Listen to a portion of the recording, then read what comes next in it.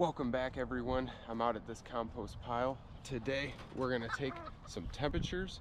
This is a pile we moved from our cold frame over here into our chicken run in order to use some of our chicken bedding and nitrogen in order to heat this back up and I want to see if it worked.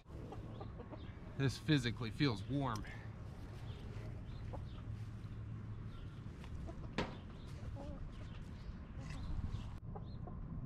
You can see our temperature rising. It's already up to about 120. So I'm gonna let that sit for a second and I wanna talk about what we're doing here. Chickens have some of the hottest poo out of all the farm animals you have. And when I say hot, I don't mean physically hot, I mean hot as in nitrogen filled. We let our chickens run through this whole run, deep, deep bedding. It was composting all winter and it never really froze solid on us. So these chickens have free reign of this entire run here. It's not very big. It's big enough to sustainably house all of our chickens and let them forage without having too much bickering or overlapping of spaces.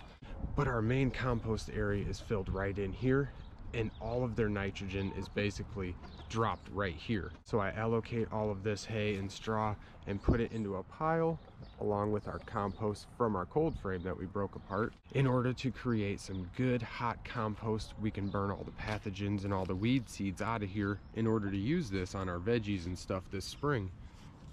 It's hard to see here, but we're sitting about 140 degrees so 140 is exactly perfectly hot compost. That is perfectly where we want it because we're well balanced on our nitrogen to carbon ratio. The whole pile here is basically comprised of carbon material, but the chickens drop all their poo in here and it soaks all the nitrogen up from that and we are able to hot compost it and break it down very quickly. We can run an 18 day hot compost on this pile right here get this covered back up while I'm out in the run here. I wanted to take a look.